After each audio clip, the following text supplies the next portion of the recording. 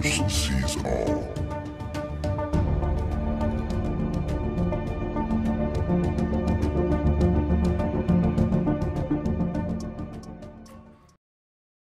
Hi, welcome everyone. The October moon. Are you all ready for it? I'm going to start off drastically with some super close ups, and I'm also going to get another video up, most likely today too, because there's just more to see. I wasn't able to show you all the areas that I was able to film. Clouds set in real quickly, but I got some really nice shots. There's an oscillating disturbance a lot more today. And again, the moon is uh, whizzing by the screen. I actually uh, slowed down some of these frames because, anyways, for whatever the reason, that everything is so different. It's so scary that they tell us there's a reset, and that when they declare this reset, everything starts like a domino effect. Everything starts changing. And it's like, can I use the word unsynchronized? Copernicus crater right in the middle, the biggest crater you see up there on top, underneath, Eratosthenes, Sinus Iridum over the right. We'll see Plato crater, a whole bunch of cool close ups along the Terminator line. Thanks so much for watching, everyone. Thanks for taking the time to subscribe to the channel. It really helps. So let's push the limits. I'll the, the next video I'll actually get further out to show you a further away view of the moon, but I want to get in close to see surface details, see the changes. Notice as I show the moon, we'll see the colors changing over the seasons.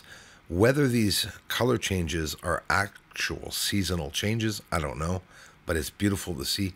Always beautiful to see. In reality, people think, well, Bruce, it's it's the moon. You're gonna film it next phase. It'll be the same. It really never is. I say as long as that moon keeps on moving on, we'll always get some cool shots of it.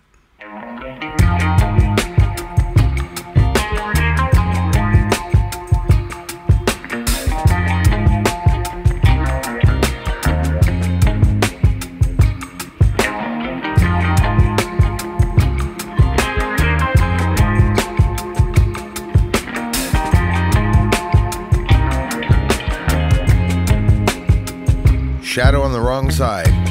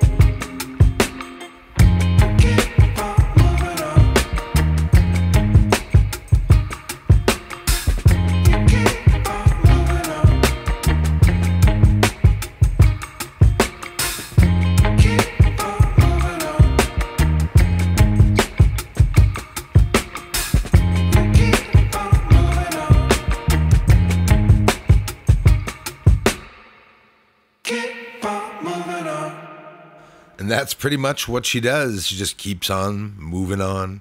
But she's moving really quickly these days. Last moon phase was extremely fast. So probably doesn't have anything to do with Earth's rotation, but but then again, why wouldn't it? They're mentioning themselves that the Earth and its rotation, the speeds, adjusting for whatever the reason, and apparently supposedly to continue into 22, 2022 this year and possibly even 2023. So these are some really close ups.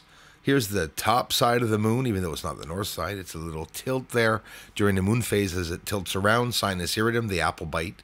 You see in the bottom left, the gray crater in the center, Plato. So enjoy. Thanks for watching, everyone.